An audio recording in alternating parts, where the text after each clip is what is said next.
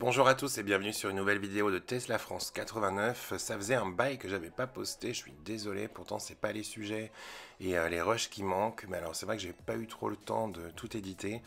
Euh, donc aujourd'hui on va parler du SAV, vous voyez mon magnifique écran avec écrit SAV dessus.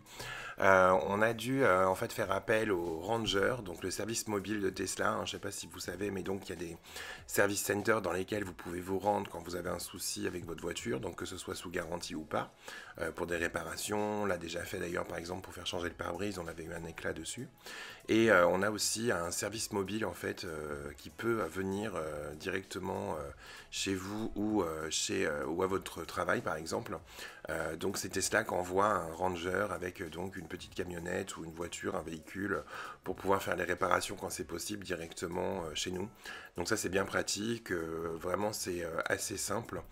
vous pouvez prendre rendez-vous directement sur l'application dans la section entretien et indiquer quel est le problème, joindre des photos, enfin bon c'est assez simple.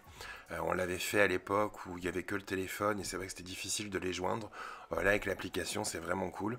Euh, en plus, après, il y a vraiment un bon suivi, j'ai trouvé. Euh, on reçoit des messages de la part de, la personne qui va venir pour indiquer à quelle heure elle va venir. dès qu'elle quitte le précédent client, pareil, on a une mise à jour. Donc c'est assez précis, c'est pas mal, c'est pas genre je viens entre 9h et 22h et puis attendez-moi. Il y a vraiment pas mal d'infos qui sont communiquées par rapport à ça. Euh, donc au niveau des problèmes rencontrés, euh, le problème principal c'était la fenêtre conducteur. Donc quand elle était euh, grande ouverte, des fois on essayait de la refermer et en fait elle remontait un petit peu et elle se rouvrait.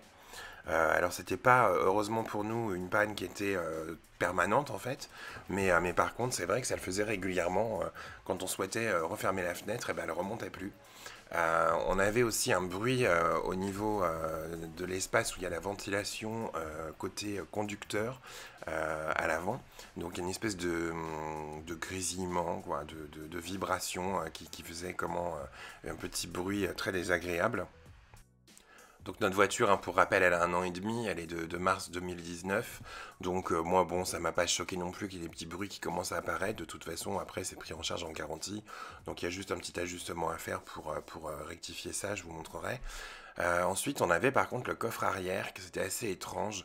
J'ai l'impression qu'il s'était désaxé, alors j'ai eu peur que ce soit dû au vérin que j'avais changé pour pouvoir avoir euh, l'ouverture du coffre un peu automatique, on va dire.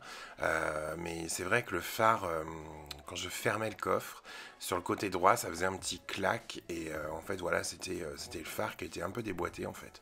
J'avais pas vu, je pensais que c'était à cause des vérins, mais pas du tout. Donc ça, ça a été remis et sans souci, voilà.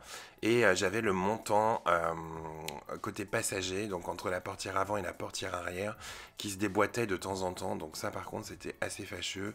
Et donc le monsieur a regardé euh, et il a réglé. Ça aussi je vous expliquerai comment. Alors pour les fenêtres, ça a été assez simple. En fait, c'était logiciel. Donc euh, le Ranger a uniquement euh, branché son ordinateur sur la voiture. Il y a une petite prise sous le volant. et donc il a lancé un programme qui en fait recalibré l'ouverture et la fermeture des fenêtres. Donc ça a ouvert et fermé les fenêtres plusieurs fois et euh, depuis on n'a plus du tout eu le souci. Euh, j'ai juste euh, trouvé dommage qu'on puisse pas le faire finalement directement par Wi-Fi qui nous envoie le truc et que ça parte comme ça. ensuite pour le bruit de ventilation, donc là vous voyez il y a toute la planche de bord qui a été démontée et c'était une petite mousse en fait côté conducteur qui, gênait et qui générait ce bruit là. depuis pareil on n'a plus du tout le bruit. Et pour le montant arrière, en fait, qui se déboîtait, euh, en fait, visiblement, j'ai dû m'appuyer trop fort dessus euh, quand je, suis monté ou descendu de la voiture, parce que c'était deux petits clips qui étaient cassés euh, en, plastique. alors à l'époque, il faisait hyper, hyper chaud, donc on s'était demandé si c'était pas à cause de la chaleur que ça s'était dilaté, un défaut du plastique ou quelque chose, mais non, non, c'était vraiment les petits clips qui étaient cassés.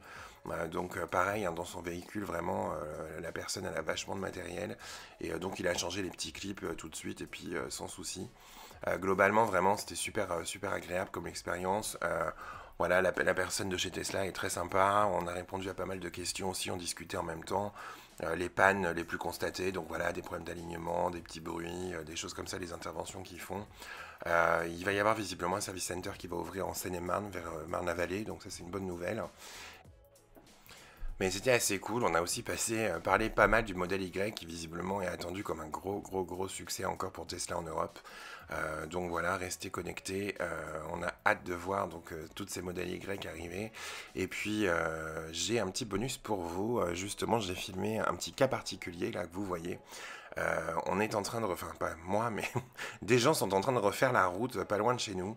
Et, euh, du coup, euh, la signalisation au sol, vous voyez, c'est que des tout petits traits pour le moment. Il n'y a pas encore eu la peinture qui a été refaite complètement.